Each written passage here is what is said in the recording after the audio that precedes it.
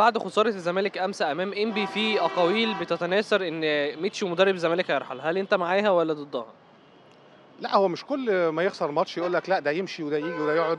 نديله فرصة والراجل لسه ما ما ثبتش حاجة.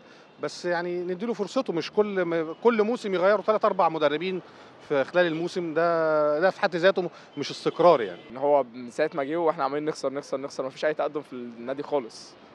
خالص. مفيش أداء مفيش حماس في الملعب مفيش آه، خطة مفيش مرونة في الخطة كله بيجري ورا الكورة بس تقريبا مفيش كورة يعني في الماتش. هو المشكلة في الزمالك مش مشكلة فنية المشكلة إدارية. ميتشو متقيد بمرتضى منصور. هو مرت- آه، ميتشو متقيد بالحوار بتاع طارق حامد وعبد الله جمعه متمردين شكلهم هيمشوا. دول لو مشوا الفريق هيقع. هو ميتشو كويس بس هو متقيد متقيد في في الخطه واللعيبة. مش مش حر. لا طبعا لازم يمشي. مدرب ضعيف جدا جدا جدا. فلازم يمشي.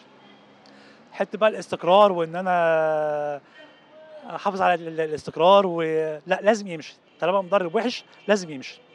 أنا المدرب بحكم عليه من ثلاث حاجات. التشكيل بتاعه آه، طريقة لعب الفرقة شكلها في الملعب وتغييراته. هو في الثلاث حاجات دول سيء جدا. تشكيل امبارح كان وحش جدا. يعني حازم إمام ده بيلعب back يمين. مش defender. حازم إمام بقى له فترة كبيرة جدا غايب عن الملاعب يعني مش فورمة. فما تلعبوش defender.